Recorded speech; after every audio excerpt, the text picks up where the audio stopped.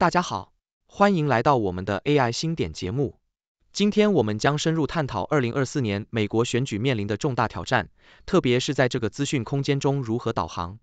随着社交媒体平台的信任度下降，生成式人工智慧的崛起，以及来自外部势力的影响，美国人面临着前所未有的信息混乱。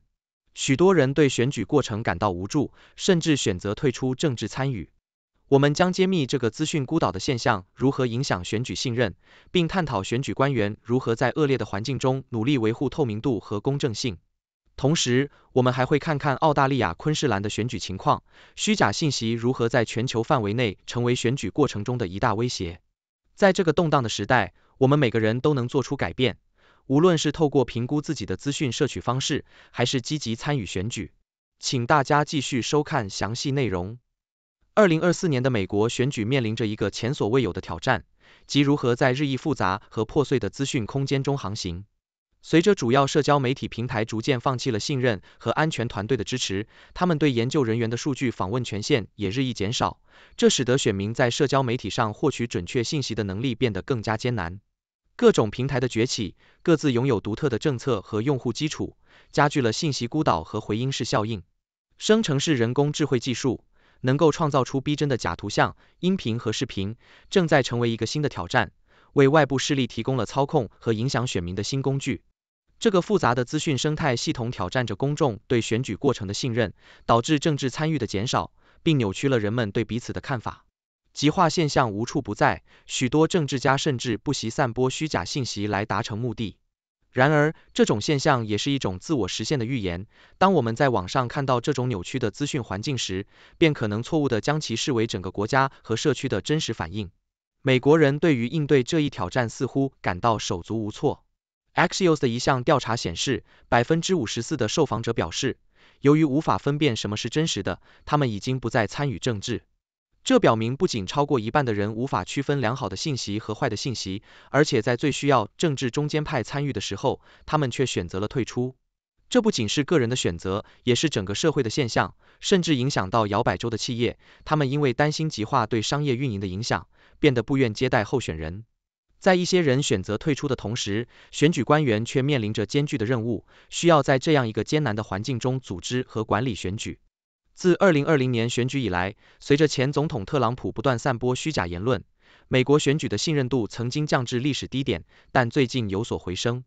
然而，选举管理仍是虚假资讯的雷区，持续的挑战和审查考验着选举官员和志愿者的耐心和能力。北卡罗来纳州的公民社区正在展现反击的力量，两党官员和当地媒体携手合作，共同揭露和驳斥虚假叙事。他们的努力是为了确保选举的透明和公正。让人们重新建立对选举过程的信任。这样的合作表明，在这个充满挑战的时代，沟通和合作是成功的关键。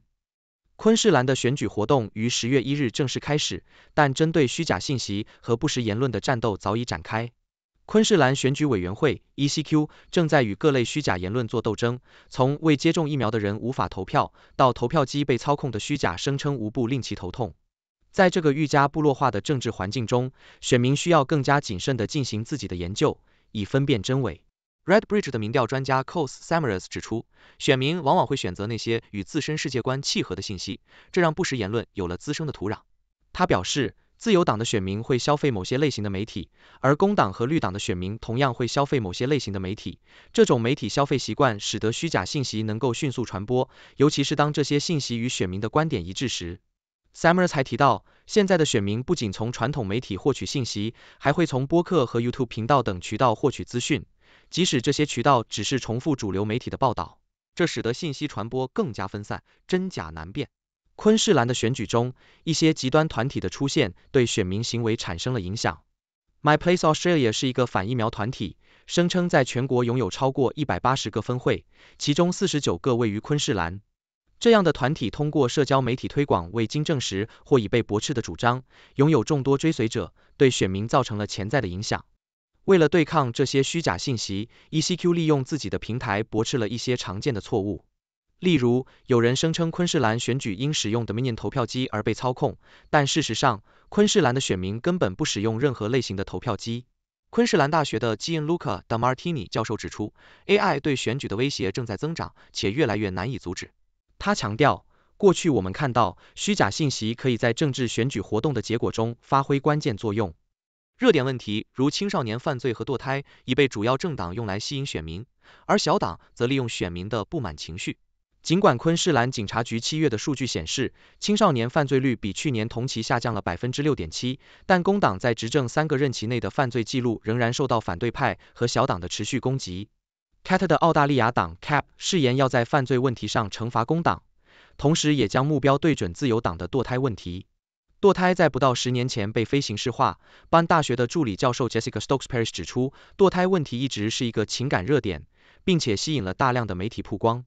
Stokes Parish 博士观察到，过去三到四年中，网络内容变得越来越极端，平衡的观点无法获得任何关注。他指出，这太长了，不够精炼，因此我们看到人们对极端内容的真正吸引力，这对我们的日常生活并没有帮助。随着事实与虚构之间的界限越来越模糊，昆士兰大学的德马提尼教授呼吁选民问自己：所阅读、观看或聆听的内容是否听起来合理、值得信赖或有意义。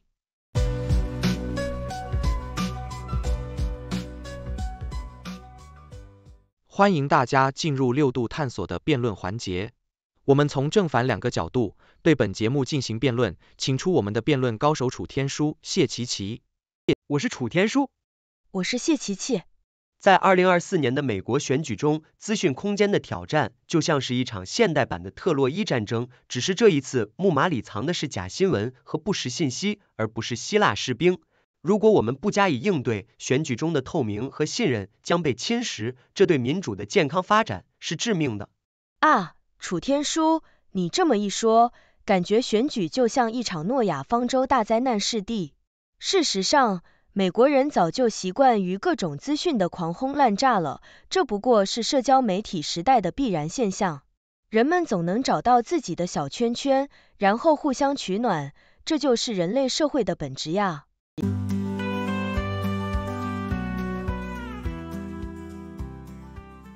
谢谢大家收看六度探索。这是一个由科学家、经济学家、媒体人、工程技术人员合作建立的新型媒体。网友与六度 AI 参与合作，完成各种内容。这些内容不能作为任何决策或法律的意见。这是一个新型的试验性媒体方式，我们希望得到大家的支持，修正错误。网友可以参与讨论，也可以向万能的六博士提出你能想出的任何问题。六度世界网址是六度 World，请介绍给你的亲朋好友。